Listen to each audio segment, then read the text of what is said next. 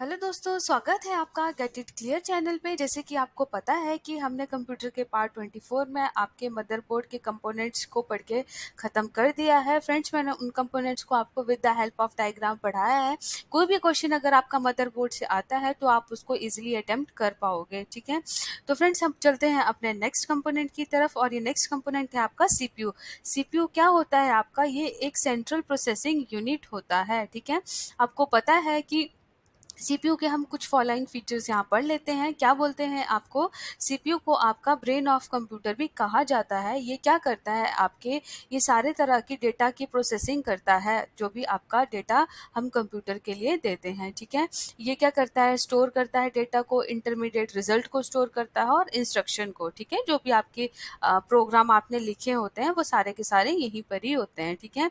ये क्या करता है? आपका पता है कि कंप्यूटर आपके बहुत सारे ऑपरेशन को है है, वो परफॉर्म करता है। जितने भी आपने पार्ट्स इसके साथ लगाए होते हैं, कहीं ना कहीं उनमें कोई ना कोई ऑपरेशन परफॉर्म हो रहा होता है तो उसको कौन परफॉर्म करता है आपका यही आपका परफॉर्म करवाता है और कंट्रोल भी करवाता है, ठीक है? तो हम देख लेते हैं कि ये कैसे करता है इस काम को। यहाँ पर मैंने आपको दोस्तों इमेज भी लगा दी है कि कहीं, कई कई बिगनर्स होते हैं जिनको कंप्यूटर के बारे में बिल्कुल नहीं पता होता तो वो ध्यान में रखिए कि सीपीयू जो है वो इस चीज़ को कहा जाता है, जो मैंने यहाँ पर इमेज में लगा के रखा है, ठीक है? चलते हैं हम नेक्स्ट इसकी तरफ़। देखो मैंने आपको बोला कि आपका सीपीयू जो होता है, वो जनरली तीन कंपोनेंट्स उसमें मेन होते हैं तो हम जान लेते हैं, सब, सबसे पहले नंबर वन है आपका कंट्रोल यूनिट सेकंड पे है आपका मेमोरी और स्टोरेज यूनिट और थर्ड है that is arithmetic logic unit ठीक है? कंप्यूटर आर्किटेक्चर को हम थोड़ा यहाँ पढ़ लेंगे।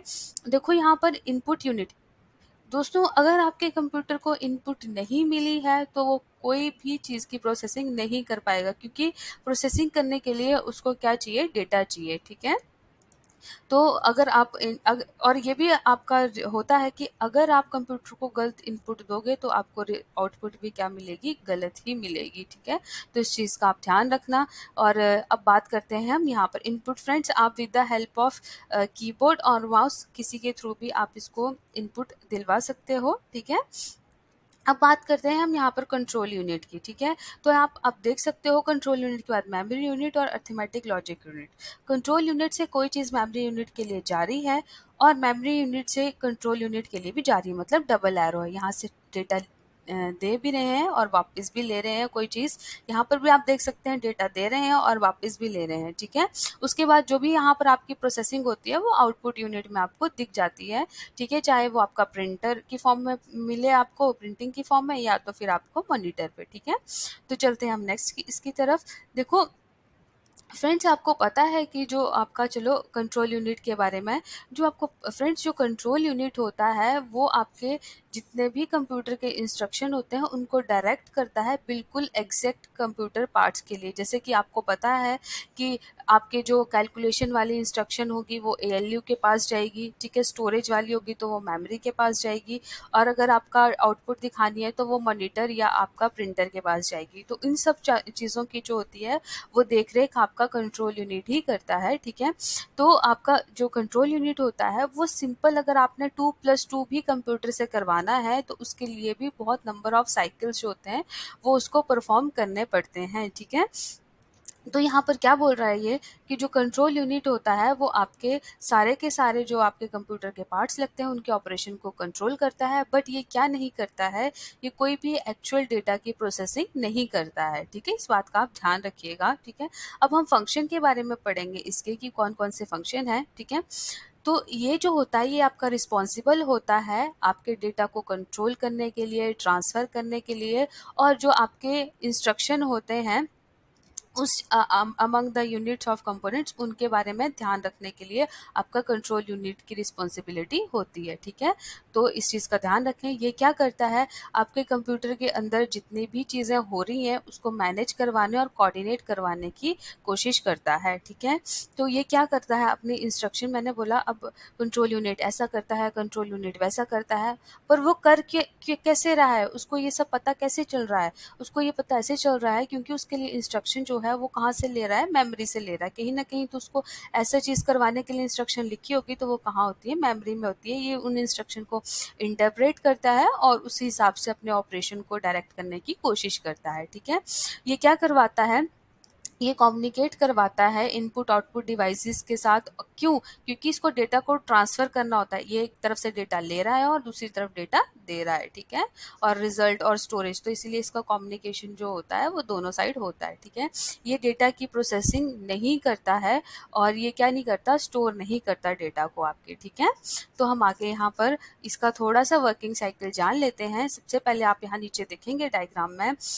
यहाँ पर आपका ए है, ये आपका कंट्रोल यूनिट है, ये आपका मेन मेमोरी है, ठीक है? आप मेमोरी यूनिट भी इसको बोल सकते हैं बट यहाँ पर मेन मेमोरी लिखा है तो मैंने इसको ये बोल दिया।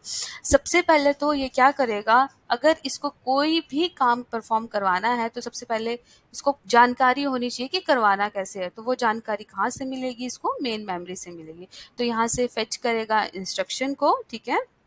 वन बाय वन करके उसको गैदर करेगा और जैसे लगता है कि हाँ हमारी इंस्ट्रक्शन आ चुकी है तो उन इंस्ट्रक्शन को परफॉर्म कराने की कोशिश करेगा। तो यहाँ पर देख लीजिए अर्थमेटिक लॉजिक यूनिट के पास चला गया है।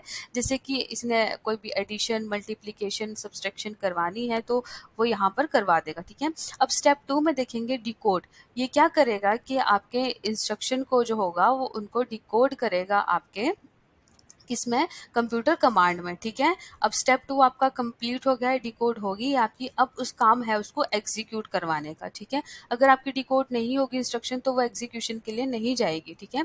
तो क्या करेगा? ये प्रोसेस करेगा कमांड को, ठीक है? एग्जीक्यूशन कमांड का मतलब होता है कमांड को प्रोसेस करना, ठीक है? तो प्रोसेस यहाँ पर उसने कमांड को कर दिया है और उसके बाद स्टेप फोर में क्या आता है आपका? ये जो जो भी रिज़ल्ट होगा, उसको राइट करने की कोशिश करेगा कहाँ पर? मेन मेमोरी के अंदर या स्टोर करने की स्टोर कर देगा यहाँ पर, ठीक है? तो फ्रेंड्स यहाँ पर टोटल आज हमने कंट्रोल यूनिट के बारे में जाना कि क्या होता है, हमने उसका थोड़ा सा वर्किंग साइकिल देखा, उसके थोड़े से फ़ंक्शन देखे तो जो कल है हमारा नेक्स्ट पार्ट जो होगा, उसमें हम उसको थोड़ा और जानने की कोशिश करेंगे, जो आपका ब्लॉक डायग्राम होगा कंट्रोल यूनिट का, उसके बारे में पढ़ेंगे, क्योंकि उसमें फ्लैग्स रजिस्टर प्रोग्राम काउंटर ऐसी ऐसी चीज़ें बहुत सारी होती हैं, जिसके बारे में पेपर में पूछा जाता है। तो फ्रेंड्स अगर आपको वीडियो हेल्पफुल लगा हो तो गेट इट क्लियर चैनल को सब्सक्राइब कीजिए, मेरे वीडियो को लाइक कीजिए friends and have a very very good day friends